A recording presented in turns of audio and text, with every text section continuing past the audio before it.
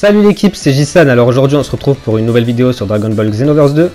Et comme vous avez pu le voir dans le cheat, je vous ai préparé un top 5 des techniques ultimes Kikoa qui font le plus de dégâts. Alors attention, ça n'est pas un top 5 de mes techniques préférées, mais seulement celles qui font le plus de dégâts. Après elles sont plus ou moins faciles à placer, mais pour l'instant, ce top est basé seulement sur les dégâts. Après, j'ai testé toutes les techniques ultimes du jeu sans exception contre Vegeto Blue, qui est quand même pas mal résistant en mode entraînement avec mon perso, sur le même terrain et toujours dans les mêmes conditions pour faire le classement le plus objectif possible. Après, euh, vous le savez, hein, il y a des patchs très souvent. Aujourd'hui, c'est le Super Kamea qui peut être en numéro 1 et qui peut être en 5ème demain ou dans une semaine. Tout ça dépend de Namco Bandai, on peut rien y faire.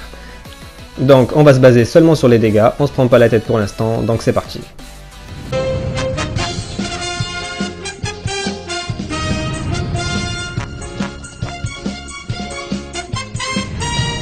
Et donc on commence ce top avec le Kamea Final que l'on débloque dans la quête parallèle numéro 91. C'est une technique de végétaux et elle fait quand même 12 703 de dégâts, c'est vraiment pas mal.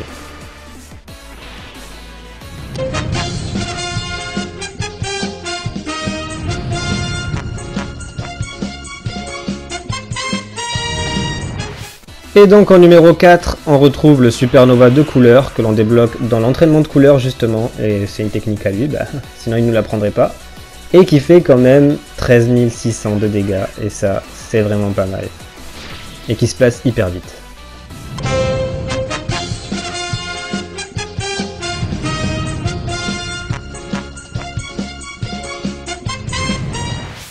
Et en numéro 3, on retrouve la bombe lourde de Mira, qui fait extrêmement mal et qui se place très facilement d'ailleurs. Bon, c'est pas trop basé sur ça, mais c'est pas grave, seulement sur les dégâts, comme j'ai dit, mais qui fait quand même 14 300 de dégâts.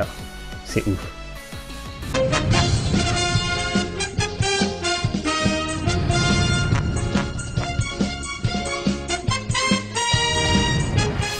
Et en numéro 2, on retrouve une technique que j'ai jamais réussi à placer, je crois, le coup du météore qu'on débloque dans l'entraînement de Thalès et qui fait extrêmement mal. 15 174 de dégâts, ça fait vraiment mal.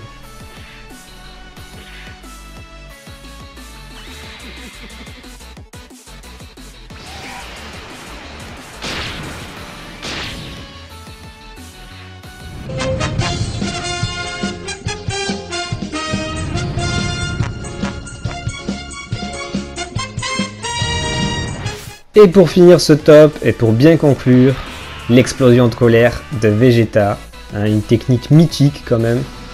si je dis pas de conneries, c'est bien celle de Vegeta, hein, qu'on débloque dans la quête parallèle numéro 12 et qui fait 16 554 de dégâts.